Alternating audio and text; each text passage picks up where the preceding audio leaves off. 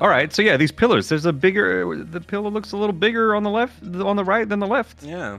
Who would have thought? Not me. Who'd have thunk it? Not me. Yeah, Not for a second. Interesting. yeah. Uh, So this is the new train station coming in update five. It's- it's To new, facilitate the new, new, new same rail train station. Or Yeah. is it? You don't know what it knows. I I sure don't. Uh, To be honest, they update shit, and like I just don't realize it until somebody points it out. Yeah. Um, but yeah, this this shot is like supposed to annoy, be a little bit annoying because like it's not, it's showing off like old stuff, but like you can see some stuff in the background here. So it's Yeah. the new windows here. So this is Yeah. kind of building here with an odd shape. Mm, that's yeah, but we get better looks at them. That's not a very uh, rectangular shape. I don't think I like that very much. It just ain't right.